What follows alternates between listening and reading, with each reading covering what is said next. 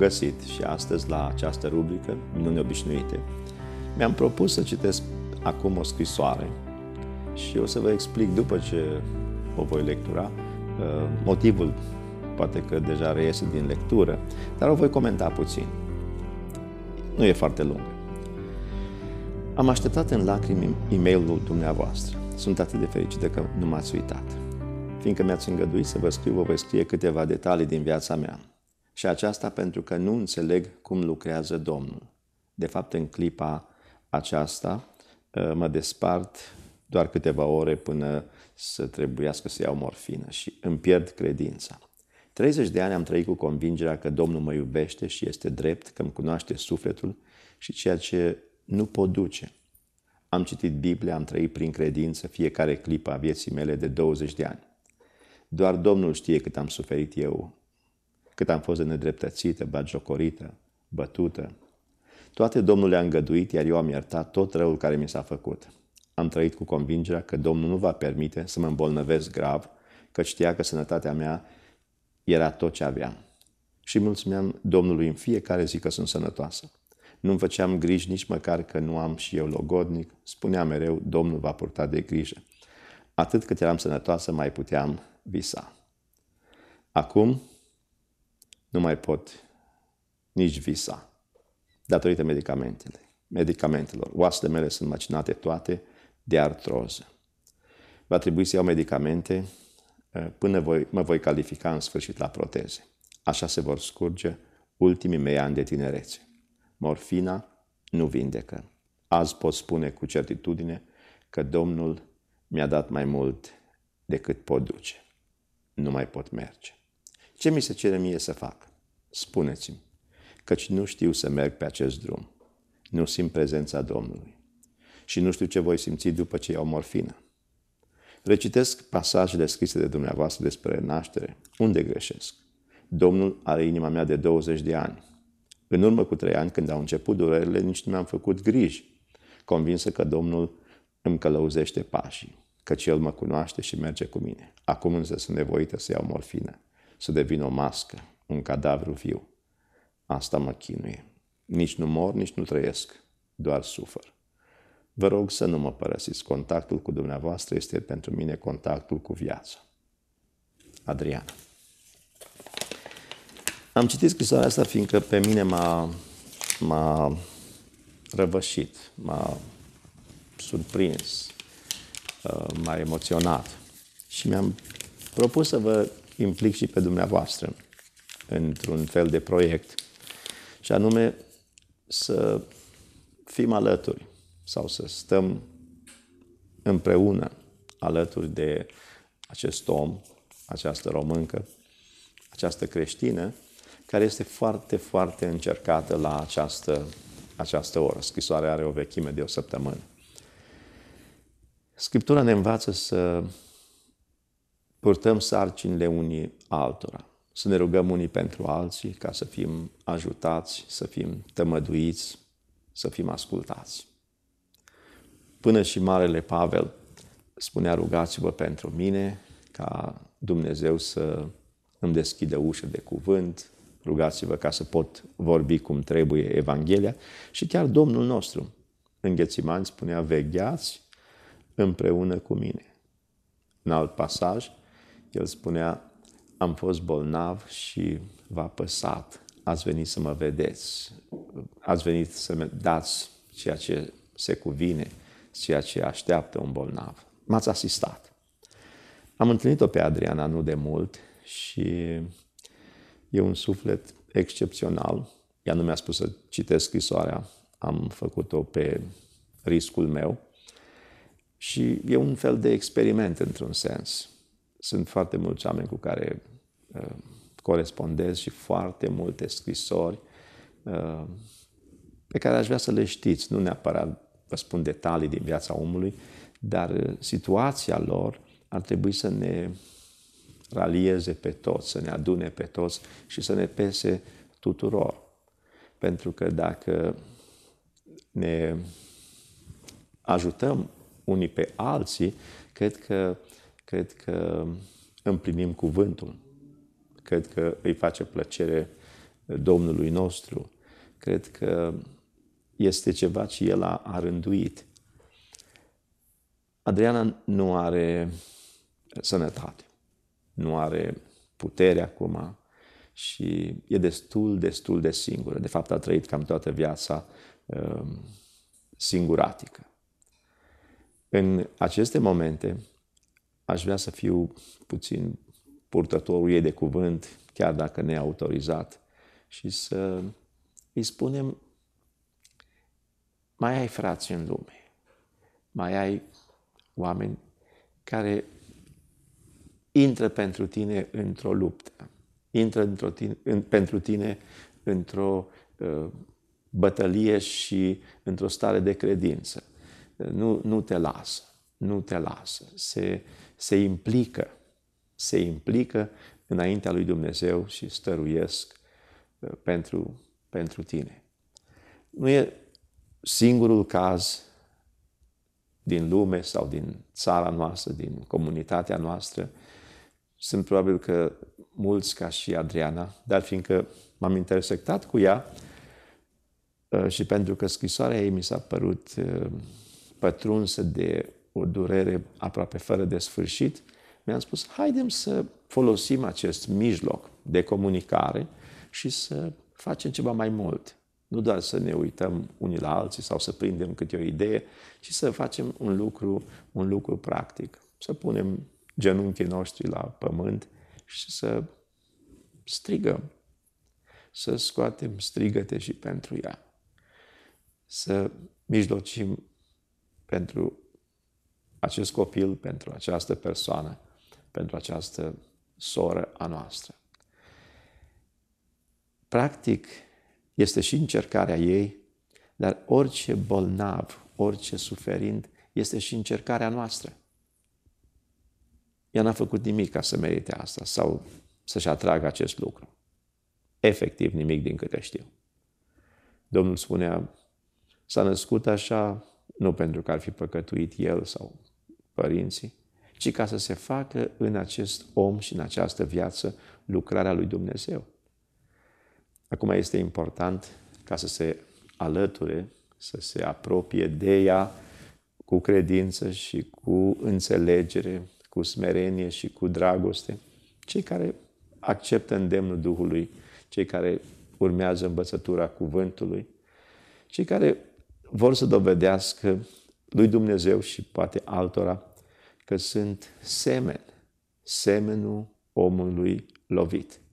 Să nu uităm că noi înșine puteam fi în locul ei, eu însumi puteam fi și tu puteai fi în locul ei și crede-mă tare ai fi vrut și aș fi vrut sigur să vină cineva și să spună sunt cu tine, sunt alături de tine, îmi pasă, mă preocupă situația ta și am să stau în credință, am să stau în post, am să strig și eu la Dumnezeu. Știu să strig. Am învățat să strig și vreau să strig și în favoarea ta. Mi-aduc aminte acum câțiva ani când lucram într-o organizație, um, am învoit o persoană al cărei soț uh, era foarte bolnav să stea să-l asiste și i-am dat foarte mult timp liber. Și după ce toate au trecut, după mormântare, a venit să spună uh, că a fost extraordinar faptul că a putut să aibă atâta înțelegere și nu știa cum să, să splătească o înțelegere. Și a spus, n-ai ce să faci, n-ai nimic de făcut. Sunt convins că dacă eu aș fi fost în situația ta, ai fi făcut la fel. A făcut niște ochi mari și apoi a spus, sper că aș fi făcut la fel. Cred că e o, dacă vrei, o încercare pentru, pentru noi. Este o, o situație. Uh, Domnul spunea, uh, fi semen pentru cel bătut. Arată că ești aproapele celui uh, căzut și arată-ți mila. Mila creștinească Domnul nostru s-a pătruns de milă și el zicea, voiesc milă, voiesc milă și de la voi. Nu o sândi, nu o sândiți, uh, nu o sândire, ci milă. Dacă ați ști ce înseamnă milă, um, n-ați o sândit niciodată. Practic, eu cred că dacă ne dăm mâinile mai mulți, dacă uh, suntem conștienți mai mulți oameni, mai mulți creștini, mai mulți credincioși de situația pe care uh, o trăiește un semen de al nostru, de durerile la care uh, este supusă datorită bolii, uh, cred că ușurăm și sperăm și credem că Dumnezeu se va îndura dacă doi se învoiesc să ceară un lucru oarecare le va fi dat. Uh, de câte ori citesc în Biblie, dați-mi voie să adaug lucrul ăsta, de câte ori citesc în Biblie și citesc Biblia de la Geneza la Apocalipsa, mă întâlnesc cu acel extraordinar cuvânt din Ezechiel, Ezechiel 22, cred. Caut printre ei un om. Caut un om. Și Dumnezeu se miră, spune Scriptura, că El nu găsește un om. Nouă ne spune Scriptura, căutați și veți găsi. Când Dumnezeu caută, El nu găsește. Când omul caută, omul găsește. De mic, de când mă știu, am tot auzit mesaje din acel pasaj. Dumnezeu caută un om, în Ierusalim nu-i niciun om. Și ne-au spus-o cei mai buni predicatori pe care i-am putut avea în istoria noastră, și în comunism, și după. Caut un om care să înalțe un zid, să stea în spărtură, să, stea, să mijlocească pentru țară. Dumnezeu caută un om. Și mă întreb, nu neapărat cu vreun gând să provoc sau să acuz, uh, nu știu dacă Dumnezeu a găsit acel om. Um, poate că în dreptul fiecăruia noi spunem, sunt cât de cât acel om. Um, dar un om care să stea în spărtură pentru țară, un om um, interesat doar de voia lui Dumnezeu, un om care să, să lupte ca Avram pentru familie, pentru Lot, un om um, spiritualizat în așa măsură încât datorită lui Dumnezeu să fie determinat să facă bine sau să facă parte de bunăvoință sau să ierte o națiune. Nu sunt sigur. Poate că l-a găsit, dar dacă l-a găsit, probabil că starea de lucruri ar fi mai bună. Eu acum parafrazez puțin și spun, caut un om un om care să spună vreau să mă implic și eu pentru Adriana.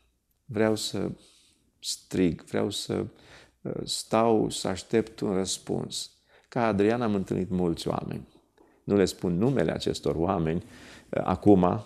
Dacă va fi un răspuns, atențiune, dacă va fi un răspuns, dacă voi primi vreun e-mail, dacă voi primi telef- vreun telefon sau vreo scrisoare și oamenii spun am vrea să ne implicăm și noi, atunci aș putea să aduc și alte cazuri la fel de serioase, la fel de dureroase, la fel de importante și poate că uh, implicându-ne pentru alții ne vor ocoli pe noi marile probleme. Uh, ne vom face bine nouă înșine, cine ajută pe alții face dator pe Dumnezeu și el însuși va fi scutit de destule neajunsuri. Hai să recapitulez scrisoarea Adrianei. Am avut o viață tristă, cu puține vise, bucuroasă că am sănătate.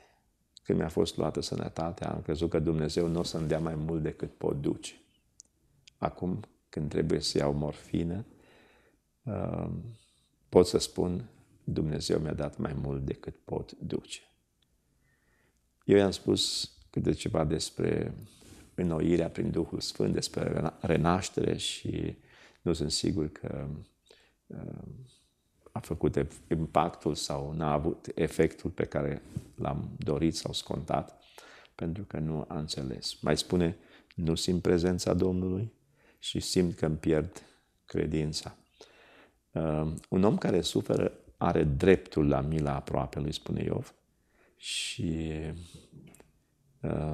chiar dacă nu este în cea mai înaltă stare de spiritualitate, acolo spune, chiar dacă a părăsit frica de cel tot puternic, cineva să creadă pentru el, cineva să se transforme într-un înger mijlocitor, ca Dumnezeu să spună altui înger, izbăvește-l din groapă.